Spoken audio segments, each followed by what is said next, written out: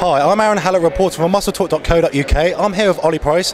Ollie, you won the Inters over 90s class last year at the British Finals. That's right, yep. How did it feel?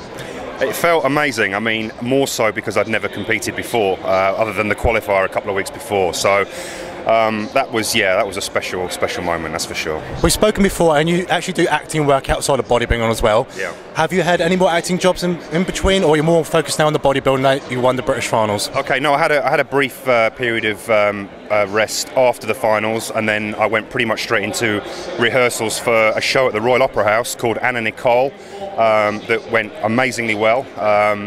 And obviously from that, just finished that straight over here. So, Excellent. You've obviously put on a lot more size since the British Finals. What are your plans for this year? Um, basically, I haven't got any other plans in terms of competing other than uh, than, than appearing at James's show, Muscle Talk show in I believe June 20. Is it June 23rd? Yes. June 23rd. Um, and then otherwise, it's yeah, just just staying healthy and, and concentrating on the finals. So. Have you changed anything with your diet and training since then? Yeah, I definitely have. Um, I've increased my calories, increased my protein. Um, that that's really made a big difference. I mean, listening to a nutritional advisor really, you, you know, it's the way forward. I'd never done that before because I'd never competed. But really, you need someone who's going to be objective and say, actually, no, you're doing this completely wrong, which I was.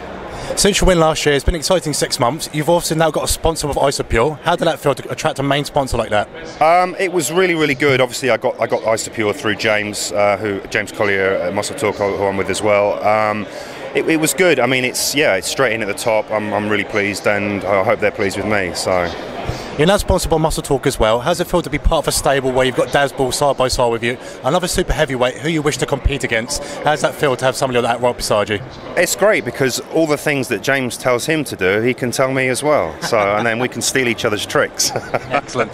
Well, I wish you all the best. 2011. Thanks, mate. Cheers. I'm Aaron Hallett, reporter for MuscleTalk.uk.